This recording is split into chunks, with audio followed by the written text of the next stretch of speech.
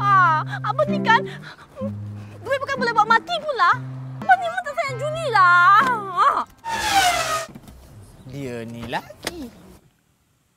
Aunt, what happened? Tak payah pancit. oh, tak payah pancit eh.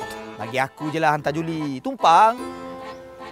Sayang, awak nak ke tumpang si muka burung hantu ni? Kalau abang izinkan, kita okey je.